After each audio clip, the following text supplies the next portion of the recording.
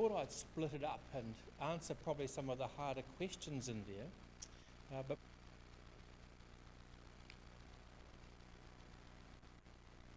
before we head there today, I want to read a couple of scriptures. Uh, the first one comes from John, um, John 18, and the other one is our reading for today from Genesis.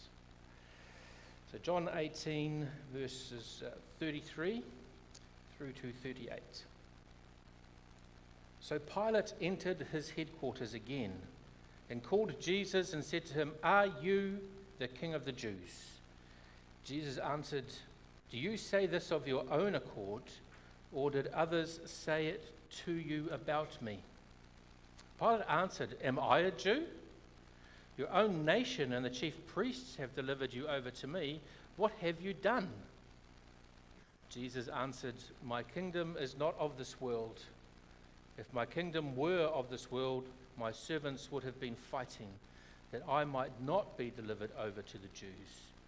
But my kingdom is not from the world. Then Pilate said to him, So you are a king?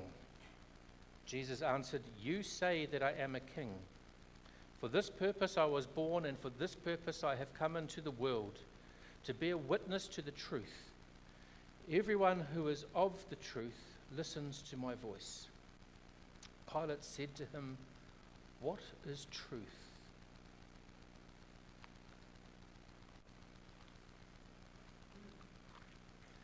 Genesis 3, verses 1 to 7.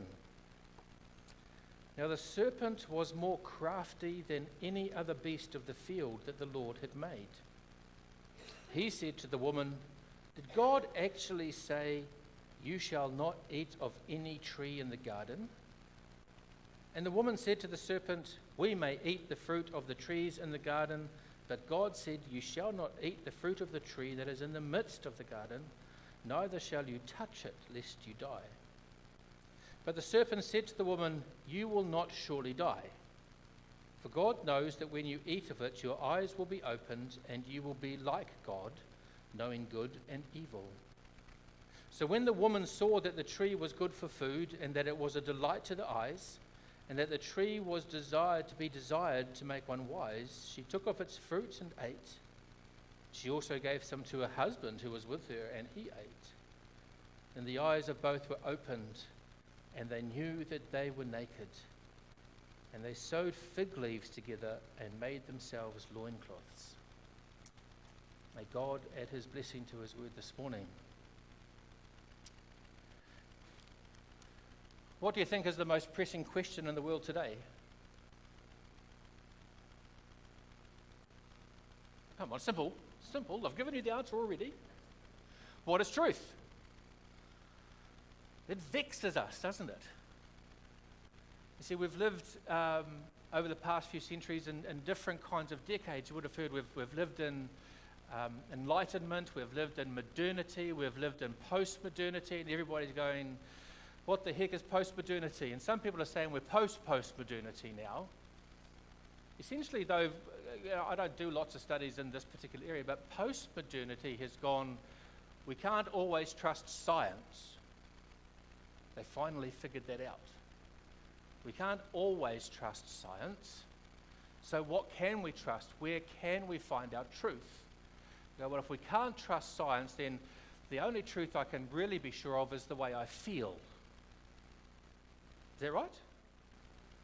That's the one truth that I can be sure of. Is the way I feel. I can feel happy, I can feel sad, I can feel all kinds of things, and this is my truth. And therefore, if you say something that I find offensive, you have offended me because I feel offended. Have you come across this recently? Yes. So, because of the way I feel now, I blame others for the way I feel, which actually isn't correct, is it? Because who has responsibility for the way they feel? We do.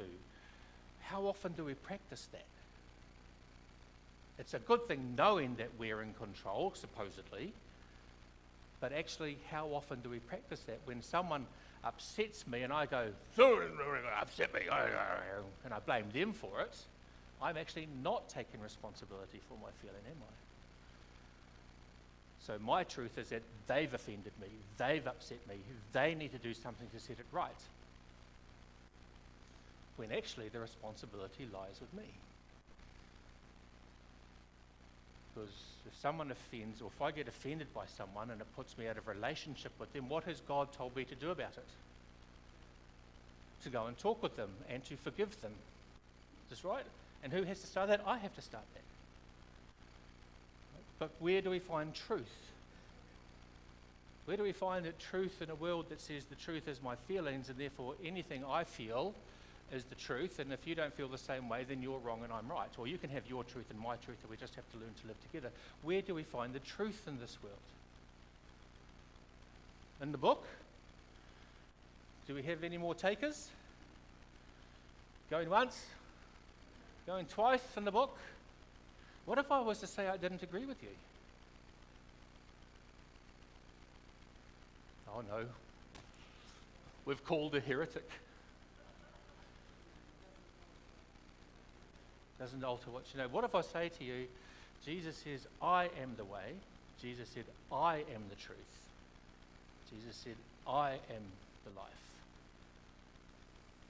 Fair call? Okay, so the truth isn't a what, the truth is a who. Right? But you're right. We find out about Jesus, don't we? We read about Jesus. We understand Jesus and a relationship with Jesus through God's word that is inspired by God's Spirit to speak into our lives. So when we head into Genesis 3, chapters 1 to 7, remember uh, I've asked you what does it mean to be human? But one of the questions that pops out of Genesis 3 1 to 7 is what is truth? Because what's the, one of the first things that the serpent says to Eve? Did God? Did God say that you shall not eat of any fruit of the tree in the garden? Or did God say that? No, he didn't. God actually said, if you read back in chapter 2, you can eat of any tree in the garden except for the one. Was the serpent lying, though? He's not lying, but he caused Eve to rethink through a different framework what God had said. And so she had to consider what God said and then think, oh, but the, the, the, serpent did it in a negative sense, didn't he? Whereas God's was positive, the serpent's was negative. But what did it cause Eve to do?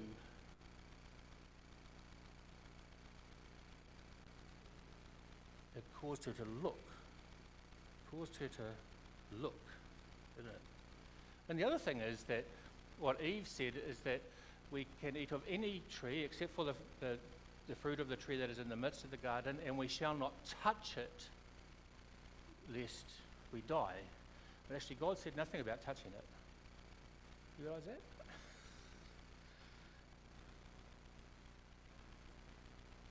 But God said you didn't have to touch it, you learn to eat of it. So, how close could you get to the fruit before you would surely die?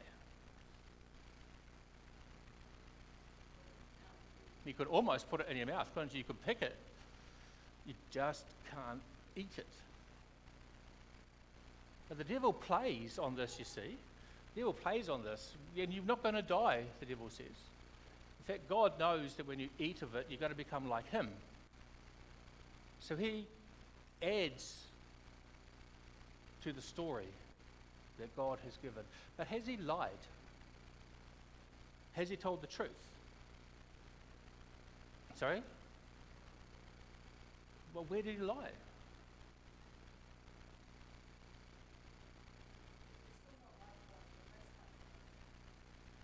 Oh, yeah, but, but did the devil lie?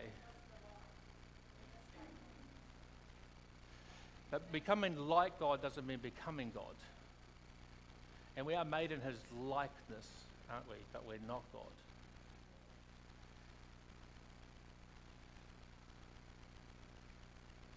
Someone asked me this question recently Did the devil, did the devil, did the serpent lie? And I'm going, well, it depends your definition of lie, doesn't it? If, lie is telling an untruth, then he didn't say an untruth at all. But if he manipulated truth, is that still lying? You could say, Gene, it's just semantics. But he actually manipulated. It's very subtle. It caused Eve to doubt God's words. Right? Now, what does it mean to be human in this scenario is that we can hear other voices and not only God's. Even these two people who we kind of think were perfect, created awesomely in the garden by God, could hear other voices. Isn't that gorgeous? Yeah? I want to do that with Jesus one day. Um, um, you've got these other voices in our heads all the time testing us, all the time asking us questions of what we believe. Do you find that, or is it just me? We've got other things wanting to take our focus off the real message of God and to get our focus onto something else, to distract us from what God wants for us. How do we respond to those voices? I'm one of the best people, I reckon, who can, um, what's the word I'm looking for? I could twist almost anything to say that something that is bad is actually good. You ever come across people like that? You see, part of me, I, I, I, I used to enjoy more and more, like less now because it gets me into trouble, playing devil's advocate. And so when you learn to play devil's advocate, you learn how to twist things. And it's actually that's what the serpent was doing, playing devil's advocate with Eve. But it caused Eve to take some action. So being human says we hear other voices, not just God's. We have to discern where those voices come from, and then we have to act on what we believe to be the truth. Human says we've got free will. We have choice. We can choose. Being human also means that we desire. See, desire goes beyond just mentality, doesn't it? Just academia kind of stuff. It goes beyond just knowing something, it goes deeper into the seat of our being. When we see something that we desire, what does it mean for us? Sorry? We want it, but why do we want it? What's it done to us to make us want it? Right, there's a craving in there, doesn't it? The desire is a craving. Are all cravings selfish? I asked my wife during her first pregnancy how much salt she wanted to eat.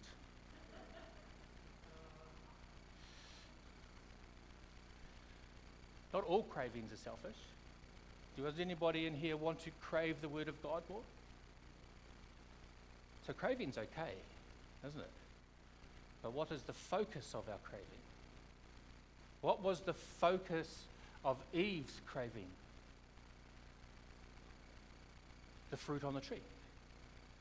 See, we read here that she looked at it. Oh, I need my glasses. No, it's all right, they're in my pocket. I bought my small print Bible. I should have known better. I understand it comes with old age. Um, the woman saw that the tree was good for food. True? Yep. I don't know about you. If I walk down a, a, a street somewhere and there's a, a plum tree or a peach tree hanging over a fence and I look at it and it's full of fruit, what do I do? I pick one because it looks good to eat, doesn't it? So, sure, it was good for food and it was a delight to the eyes. Yes, it was good looking fruit. Mm-hmm. And it was to be desired to make one wise or to give insight. So that desire was that desire to become like God, knowing good from evil. And it stirred that desire in her. See, being human, have you noticed the longer you look at something, the longer you want it, the more you want it? You set your eyes on something. I'm, I'm really bad with it. Um, I used to be actually really bad with it. Um, I'd see some of the latest technology come out. So I like technology. And you know, oh, those new flip phones look pretty good, don't they? Or the new phones. I wonder how they work. And the more time I actually spend looking into it and reading about it, the more I want one. I'm not too sure why I want one, but my desire says I just, I just want the next best thing, I think, the thing that I think will help me more. When in fact, it probably doesn't help me that much. At the end of the day, it's just a glorified phone, isn't it? It actually takes me away from people more than it gets me towards people. Does have great cameras, though. but everything we desire is not always good. But being human says that actually we do desire as humans, and desiring is not a bad thing. The focus of what we desire becomes the important thing. And Eve's focus became being more like God.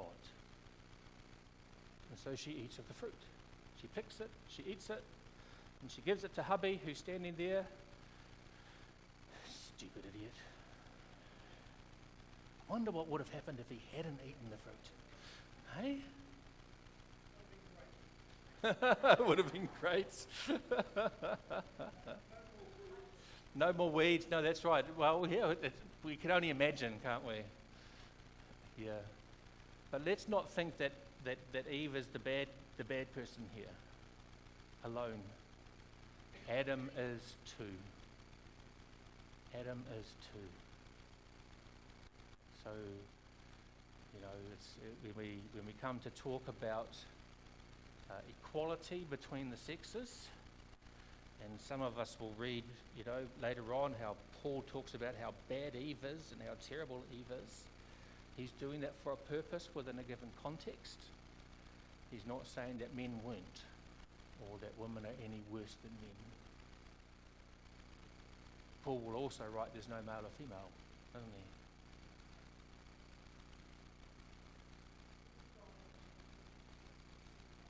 He did. He did. Which is perhaps why Eve didn't, some would say why Eve didn't quite get it right. You know, Adam, Adam might have said to her, Look, honey, um, see that tree there? We're not allowed to eat the fruit of that. So to make sure you don't eat the fruit of it, don't even touch it because you'll die. that's what God said. So just don't touch it. But some would argue, well, you should never add to God's word, should you? Oh, well, that's, that's a really good question because, because that's the next thing in here is one of the big questions is what was death? They would have no idea of dying. None whatsoever. And the other question is, did die mean immediately die?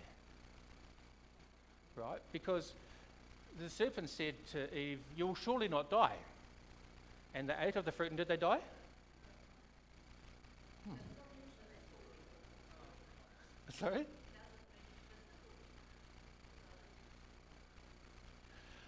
Uh, was it physical or spiritual or relational death? So this gets us into some really interesting questions, doesn't it? Because Adam and Eve were in relationship with God in the garden. Were Adam and Eve still in relationship with God outside of the garden?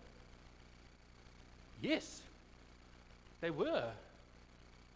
Absolutely. After they had sinned, God still spoke with them they still spoke with God.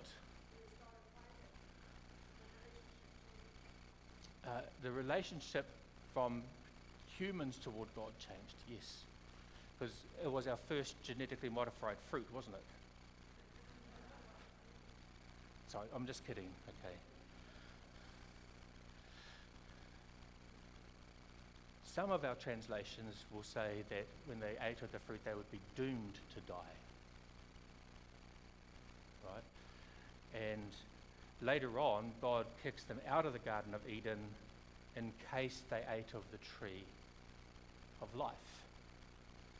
So commentators are all a bit kind of, no one seems to come to any conclusion, firm conclusion about um, whether they were meant to die immediately or not.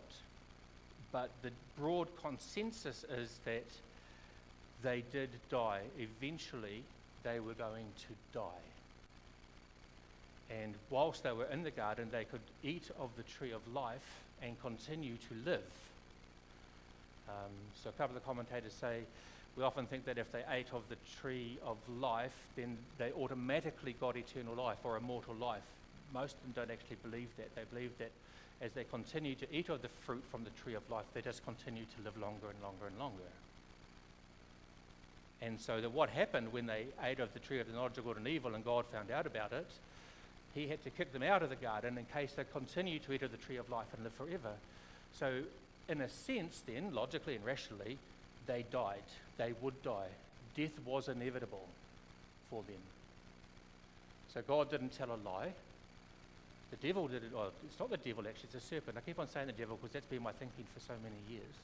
The serpent didn't lie either in the fact that they wouldn't die immediately. But the serpent told an untruth in the fact that they would end up dying, but it depended on what consequence God put in place for their sin. See, God was the one who would actually end up deciding what was going to happen to Adam and Eve should they eat of the fruit of the tree of good and knowledge, knowledge of good and evil.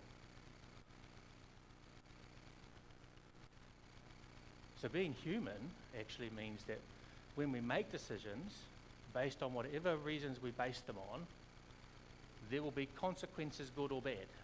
Savannah.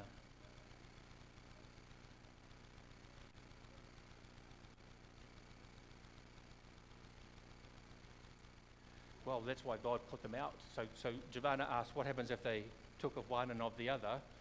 Um, as long as they were in the garden and could continue to eat from the tree of life, they would continue to live.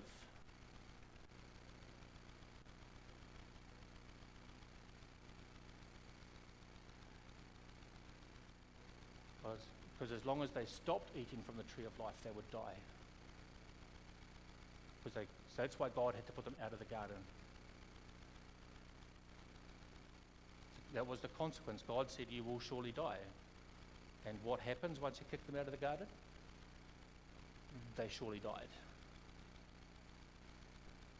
They surely died. Because God then set up all kinds of things around the Garden of Eden that they would never get back in there again. Didn't he? So eventually they would surely die. So to be human means we die. We should not be surprised by this fact. Okay? And I guess in different times and different families I've come across in doing funerals, I, I continue to find it surprising, I guess, that death comes as a shock to people. Maybe it's just me. But actually, as believers, as humans, we all know we're going to die. There is no magic formula to keep us living longer on this earth. The other thing about being human is that our relationship with God has changed, I believe, from when it was in the garden. Because, not because of God, but because of humanity. You see, they start out, the writer starts out in Genesis 3 saying that the snake is the shrewdest, the most cunning of all of God's creatures. Did anybody think of anywhere in the New Testament where the word shrewd is used?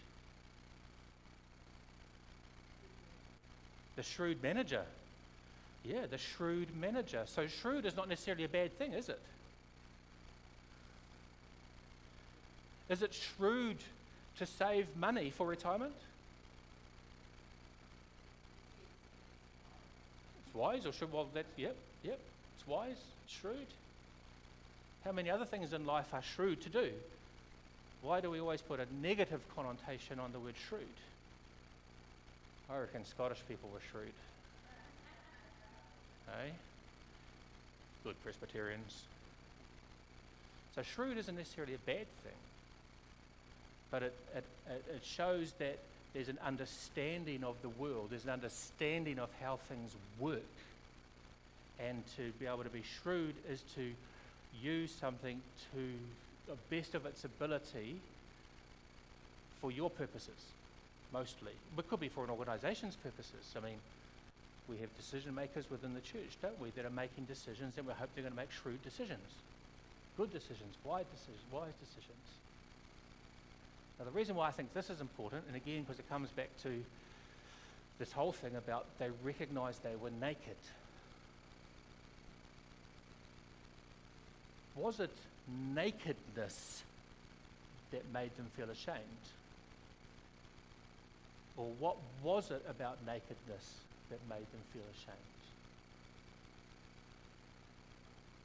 They were vulnerable. Now, why were they vulnerable?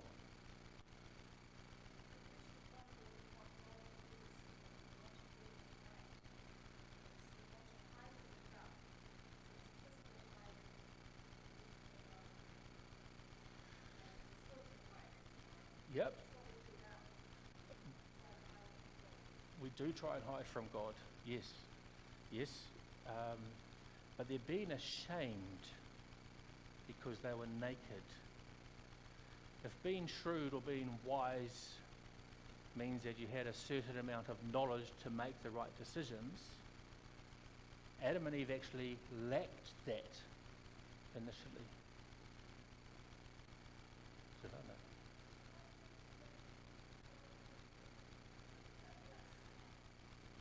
Right, could the serpent speak human or could Adam and Eve speak snake?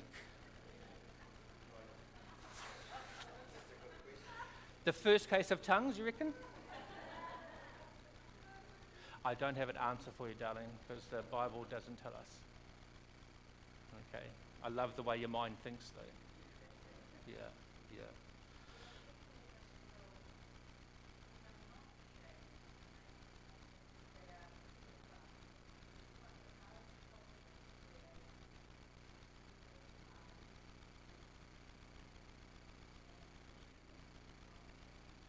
Yes, you're right. And so commentators would say actually their ashamedness didn't necessarily have anything to do with the nakedness, but the nakedness was part of what happened. Adam and Eve, the commentators would say, were naive to begin with. They had shame, is a really good word. Is it the lie?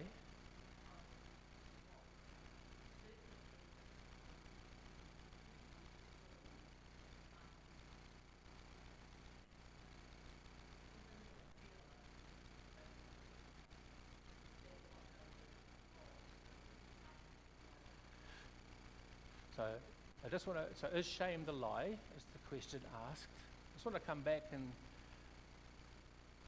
I'm going to make a statement, you don't, and obviously you don't have to agree with this. The serpent didn't make them do anything. Again, you know, the serpent didn't make them do anything. They chose out of their feeling. They put the truth aside for what they felt was the right thing to do. Um, but they became ashamed because all of a sudden their world was opened up and they weren't naive anymore. And so when people have said to me, oh, why were they ashamed they were naked? Know, I said, because I actually reckon that all of a sudden they could see how nakedness could be used. the repercussions of nakedness, of what it then stirred within them,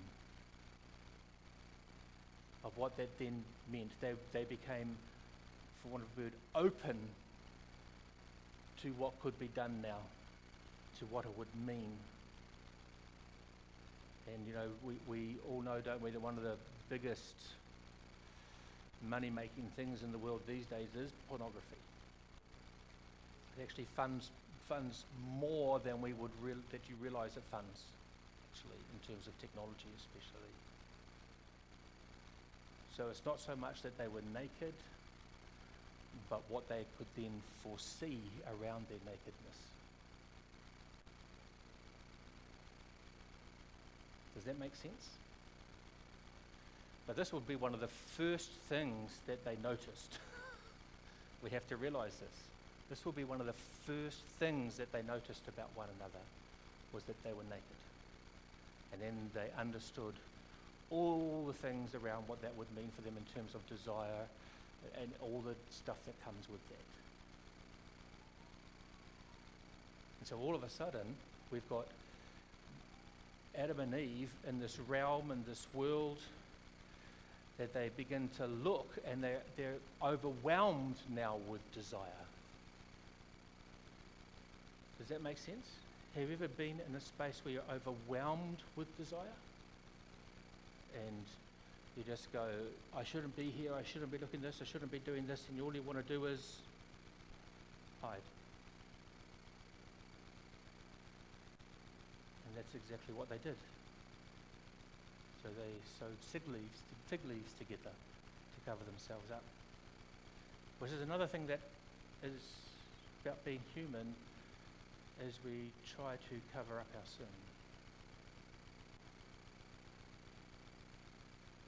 Does anybody here try to cover up their sin? Oh, I've done something wrong.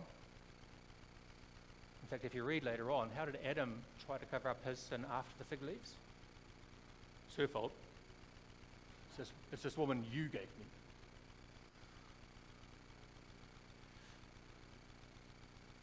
But we try to actually cover up our sin because of the shame it brings on us. And again, what is God's antidote to that? God's antidote is confession. God's antidote is actually confess your sin one to another. How often do we do that? Let's bring them business when tell them anything. Maybe it's one thing the Catholics got right. Just a thought. And James, if you're sick, what do you do? You call the elders around, who anoint you with oil, and you confess your sins, because the prayer of a righteous person avails much.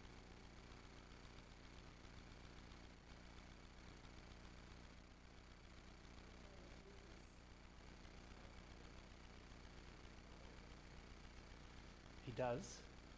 That's um, I wholeheartedly agree with you that's the ideal, that is the theory.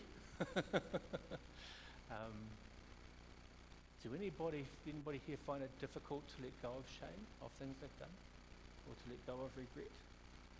I actually think it's a bit of a process. Um, which gets us into the realm of forgiveness, and we don't have much time for that today. Um, I won't get into that now. Often people will say you have to forgive yourself and I say, where show me in the Bible where it says you have to forgive yourself. It doesn't. There's nowhere in the Bible that says you have to forgive yourself. You either sin against God or you sin against others. If you sin against God, you need His forgiveness. If you sin against others, you need their forgiveness. Interesting. Interesting. And how do you know that you're forgiven unless you hear it from somebody that you're forgiven? How do you know that you're forgiven from God actually if you're not sitting down and confessing with someone and asking forgiveness and them actually being able to declare over you, God has forgiven you in Jesus Christ? We need to hear this. This is part of the body of Christ. That's why I love the body of Christ. Actually, we're meant to have these relationships with one another where we are impacted by God's love and grace and mercy in this space and our gatherings together wherever they are. But unfortunately, the church has become a place where most people feel judgment, even those within it. We have to come against that. Anyway, another sermon. So, being human means we hear lots of different voices attracting us, it means we have choices to make, um, we have desires that will want to lead our decision making processes that might lead us away from the truth. Um, it means that when we do stuff up, when we do sin, that quite often we'll want to cover it up and not let it out into the light, but we'll want to bury it deep. That's often one of the first responses we have to it now. We want to push God further away. And it also says then that our relationship with God is broken. His love for us remains, but we were not faithful to him. Adam and Eve weren't, and therefore we are in that consequence. We have to choose now to be faithful to God. So let's pray. Thank you, Lord, that you're human. No, not you, that we're human. Thank you, Lord, that we're human. And that when you sent Jesus, you continued to show your everlasting faithfulness to us.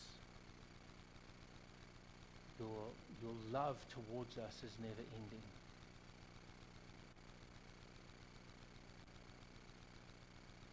I just want to thank you for that. And I want to thank you that no matter what our lives have been like, whether we think we're good enough or not, that you love us as we are. And in Jesus, you have reached out to us like uh, a captain on a boat reaching out to someone who's fallen over the side and brings them up into the boat where people can love and help and bring new life. Help us to be those people on the boat with you, Lord Jesus.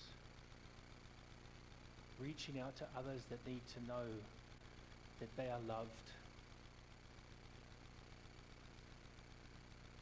I ask this in your name, Jesus.